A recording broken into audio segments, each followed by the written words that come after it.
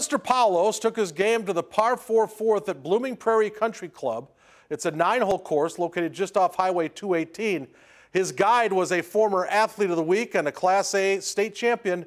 Here's our 13th installment of Par for the Course. Welcome back to Par for the Course. This week we are in Blooming Prairie at Blooming Prairie Country Club with their general manager Tommy Broughton on hole number four, a dog leg to the right. Tommy, What's the key to playing this hole? So hole number four here, dogleg right. Uh, fairway is actually pretty severely sloped left to right, which makes your second shot over the water, over that tree to that elevated green pretty difficult. But this hole definitely has the most character on the course for sure. It kind of sets up for that signature Mark Paulos baby draw. So.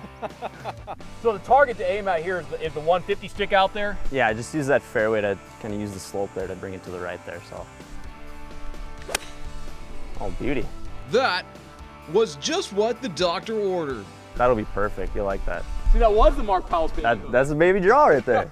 Signature. Tom, we got a good kick off the fairway. We're about 120 out.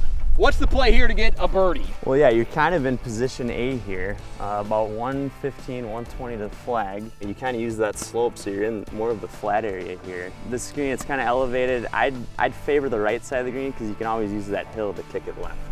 I just didn't want to hit the tree.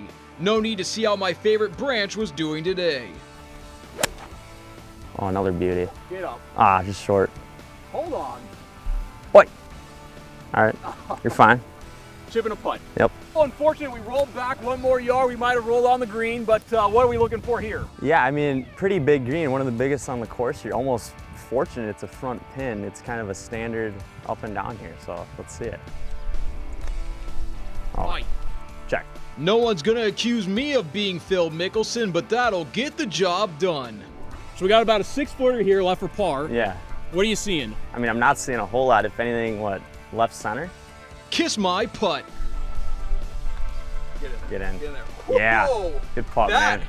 is a par for the course. Great day out here at Blooming Prairie Country Club. And Mark told me he felt old because he did the story on Tommy as the athlete of the week. And I think Mark's, what, 27 years old? Uh, let's look at sports. Good job, Mark. Have a good weekend.